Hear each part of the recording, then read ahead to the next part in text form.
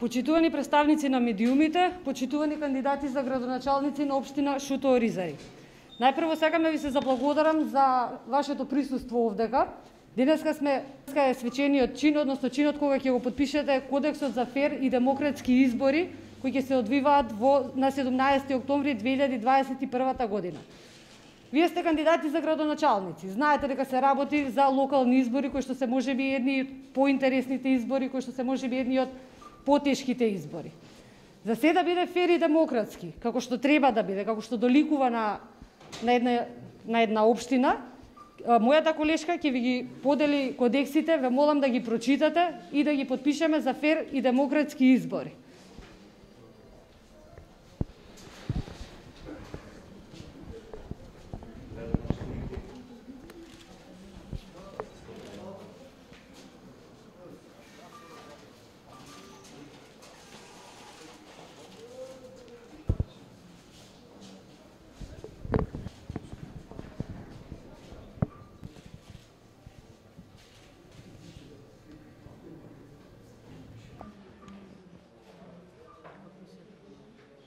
На целата општинска изборна комисија Шуто Оризари ви посакувам на сите многу среќа и успех.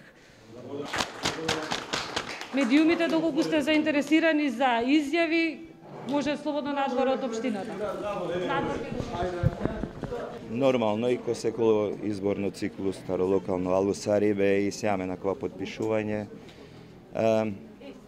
ме буд пути во Керала, хем ка потенциринава кога да пути дека Сар со води неја мени локална самоуправа, сао изборна циклус ја со наклеќа Мари комуна, наклеко најшукар ем најдемократско редо.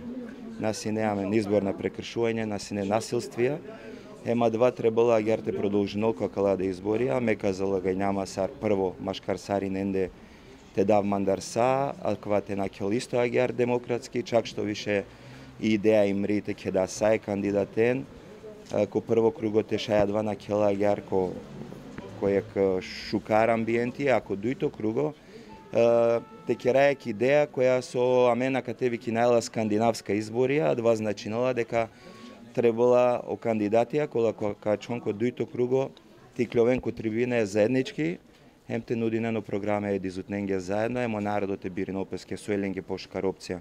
Мисли нава гјарда каде ек шужи сликата решутката те би страда два сосине пред 2016 ем това пример ки цело Македонија ем Балкан дека и шутка шај ема мено рома шај ако почеама со очекувања која изборија искрено очекувања победа ко прво круг Очекувања дека не е тоа подпишува само килис хартија, очекувања дека кала лафија не е тоа само теоретска, туку ковен оперативна. Очекувања дека Адвасова керајле кабешако Маро лафија не е злупотребина било сави, ниту службена должност, ниту асоциација е владаја со не моментално ке власт. Емо очекувања дека са со Кој ни информириме благовремено емо опсе, емо дихара, сар сој джијака на информириме таре мари стран. Па Ако пати кампања ка ол позитивно, тар мари страна сар владеачко партија, мејсар кандидати таро социјал-демократски сојуз. Очекувава тари омаре опонентија, фер, демократски избори, процес која со о, народот ари комуна што ризари, ка овол гордо, тара цела ка постапка. Е, верунава дека сјам спремна и шутка те да маро максимум, те баш што јек демократија, сар сој ки цело држава, истовремено ке менде ке марида комуна.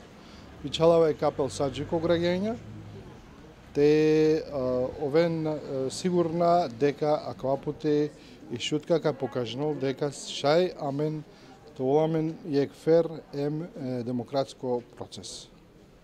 Па дека кол фер избора, најетол те дозволнеа сарсосине пред не се бершав мариве, га гадже кај на мангенеромен, дола джанеја сарне којавност, е мате дозволнате перако стапке гадженге, раздели па владете мараме на мен машкароменде, а некој те добинал пункти од олесе квапти о пошукар ка добинал кој касе манглата гласил, нека гласил, ама джанина кај огегета на победнико. Тоа мен сте. Јас се надевам дека ќе бидат сфери демократски и затоа го потпишавме овој кодекс и мислам дека сите граѓани ќе гласат за подобриот.